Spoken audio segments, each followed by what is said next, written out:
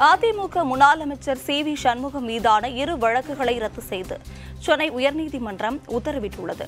முன்னாள் அமைச்சர் ஜெயக்குமார் கைதை கண்டித்து அனுமதியின்றி போராட்டம் நடத்தியதாக திமுக நிர்வாகி அளித்த புகாரிலும் கொரோனா விதிகளை மீறி அனுமதியின்றி போராட்டம் நடத்தியதாக கிராம நிர்வாக அலுவலர் அளித்த புகாரிலும் அதிமுக முன்னாள் அமைச்சர் சி வி சண்முகம் மீது இரு வழக்குகள் பதிவு செய்யப்பட்டன.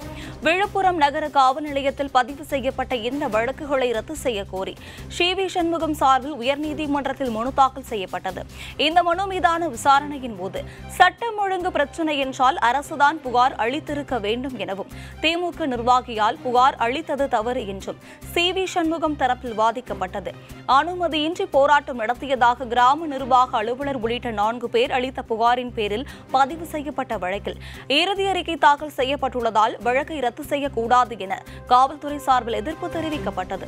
இருதரப்பு வாதங்களையும் கேட்ட நீதிபதி கொரோனா விதிகள் அமலில் இல்லாத போது விதிகளை மீறியதாக வழக்கு பதிவு செய்யப்பட்டுள்ளது என்றும் முதல் தகவல் அறிக்கையில் உள்ள குறைபாடுகளை நிவர்த்தி செய்ய நடவடிக்கை எடுக்கவில்லை என கூறி சி வி சண்முகம் மீதான இரு வழக்குகளையும் ரத்து செய்து உத்தரவிட்டுள்ளார்.